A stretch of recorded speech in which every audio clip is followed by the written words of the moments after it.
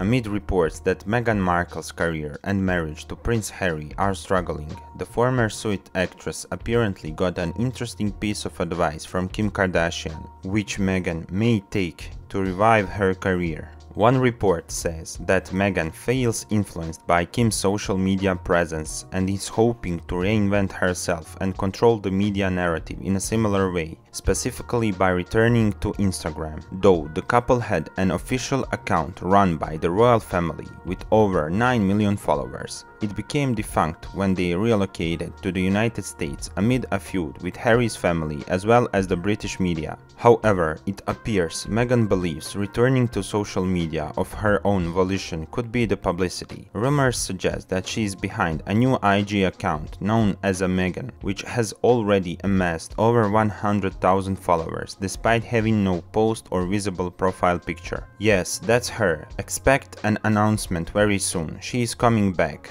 a source told Daily Mail, seeming to confirm Meghan is behind the one name account. Everyone in Hollywood is talking about the relaunch being imminent, they continued. Meghan has never made any secret of the fact she wants to return to Instagram. Meghan's return to social media isn't shocking, considering she hinted at the possibility last year. Do you want to know a secret? I'm getting back on Instagram, she said during an interview with The Cut without revealing any other details. Meghan's return to Instagram comes at a time when her career is reportedly floundering.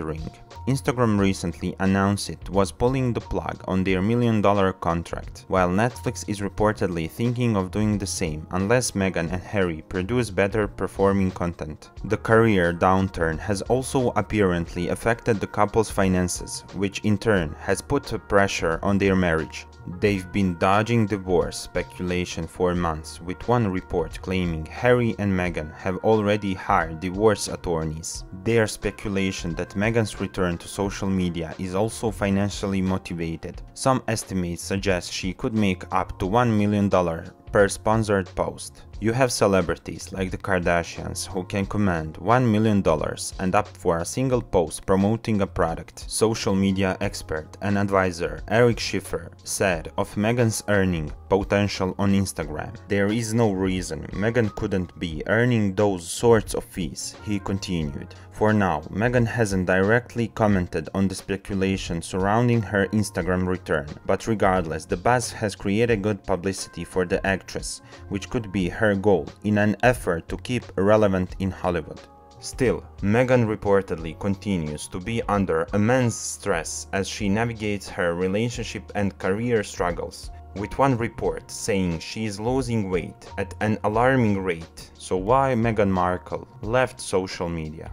Even though Meghan Markle's long-term legacy at the palace might be inspiring the communication office to be more creative in their use of social media, she and husband Prince Harry aren't particularly fond of it themselves. Ever since moving to California, the couple has used some of their newfound freedom to advocate against hate speech and misinformation online. Over the summer, they teamed up with the racial justice nonprofit Color of Change on their campaign Stop Hate for profit, and behind the scenes, Meghan and Harry called business leaders to discuss Facebook's moderation strategies. In an interview Wednesday, Meghan spoke about just how deep her dislike for social media runs, comparing it to an addiction. There are very few things in this world where you call the person who is engaging with it a user. She said in conversation with Fortune's Emma Hinchliffe, people who are addicted to drugs are called users, and people who are on social media are called users. She also spoke about her personal decision to avoid having her own social media accounts, even though she did use one for royal work. For my own self-preservation, I have not been on social media for a very long time, she said. I had a personal account years ago, which I closed down, and then we had one through the institution and our office that was in the UK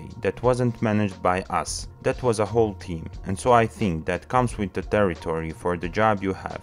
I have a lot of concerns for people that have become obsessed with it, she added and it is so much a part of our daily culture for so many people that it's an addiction like many others. There are very few things in this world where you call the person who is engaging with it a user. The interview took place as a part of the Fortune Most Powerful Women Next Gen Summit, which was invitation only and had a registration fee of $1,750, according to Business Insider, though the magazine later shared clips from Meghan's 15-minute appearance on their social media accounts. In an August interview, Harry said that focusing on the harms of social media would be a main focus of Archewell, his and Meghan's new charity venture that saw its official launch delayed by the pandemic. Even when Meghan and Harry have discussed the upcoming election, they have continued to reiterate how important social media is to understanding the world's political divides.